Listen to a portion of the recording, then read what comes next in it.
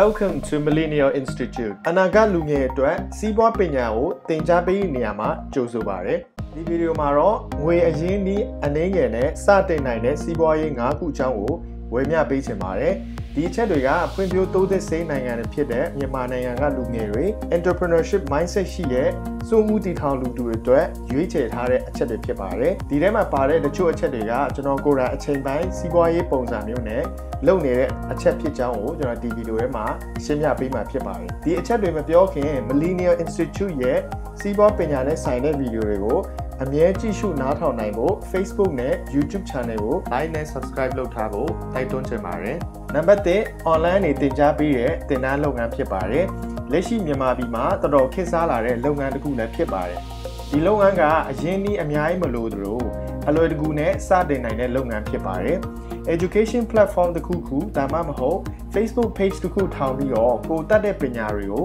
တခြားသူတွေကိုဝယ်မျှပေးရင်းနဲ့ဝင်ငွေရှာနိုင်တဲ့လုပ်ငန်းဖြစ်ပါတယ်။ ကျွန်တော်ကိုယ်တိုင်လည်း2018ကတည်းက Udemy ဆိုတဲ့ education platform မှာ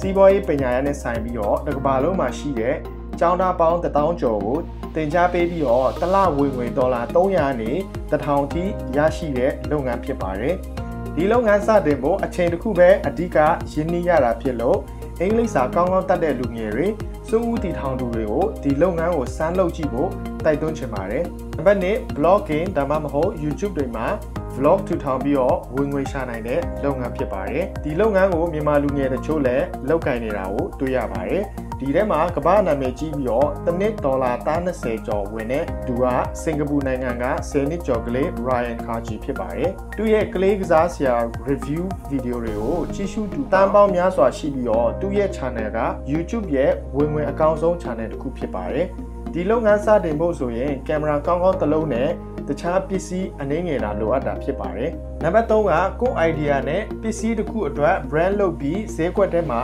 ရောင်းချတဲ့လုပ်ငန်းဖြစ်ပါတယ်။ဒီအချက်ကိုအင်္ဂလိပ်လိုက drop shipping လို့ခေါ်တာဖြစ်ပါတယ်။ drop shipping ဆိုတာကကိုယ့်ရဲ့ brand နဲ့လုပ်ထားတဲ့ပစ္စည်းကို customer တွေကဝယ်တဲ့အချိန်မှာမှစက်ရုံတွေကိုထုတ်လုပ်ခိုင်းပြီးတော့အိမ်ရောက်ပို့ခိုင်းတဲ့လုပ်ငန်းဖြစ်ပါတယ်။ customer တွေဝယ်မှထုတ်လုပ်ပေးတဲ့အတွက်ပစ္စည်းထုတ်လုပ်စရိတ်နဲ့ထိန်းသိမ်းစရိတ်တွေမကုန်တော့ပဲကုန်ကျစရိတ်အားလုံးကို customer တွေကကြိုတင်ငွေချေပေးတဲ့အတွက်ရင်းနှီးမြှုပ်နှံမှုက marketing အတွက် budget အနည်းငယ်တာလိုအပ်တာဖြစ်ပါတယ်ဒီလုပ်ငန်းတွေကိုနာမည်ရ e-commerce website တွေမှာနဲ့ကိုယ်တိုင် Shopify e-commerce website ထောင်ပြီးတော့လုပ်နိုင်မှာဖြစ်ပါတယ်ဒီလုပ်ငန်းလုပ်ကိုင်သူများပြီးတော့ပြိုင်ဆိုင်မှုများတဲ့အတွက်အမှုပညာလောကမှာနာမည်ကြီးသူနဲ့ social media တွေပေါ်မှာ နာမည်ရသူတွေလုပ်ရင်အောင်မြင်ဖို့အလားအလာပိုများမှာဖြစ်ပါတယ်။နံပါတ်၄ကိုယ်မှာရှိတဲ့ကျွမ်းကျင်မှုနဲ့ freelance လုပ်တဲ့လုပ်ငန်းဖြစ်ပါတယ်။ဒီအချက်ကကိုယ်စီမှာဈေးကွက်ထဲမှာလိုအပ်မဲ့ expertise ကျွမ်းကျင်မှုတစ်ခုခုကိုအသုံးချပြီးတော့လုပ်ကိုင်နိုင်တဲ့လုပ်ငန်းဖြစ်ပါတယ်။ဥပမာကိုယ်စီမှာ accounting, software development, graphic designing စတဲ့ကျွမ်းကျင်မှုတစ်ခုခုရှိရဆိုရင် freelance platform တွေမှာ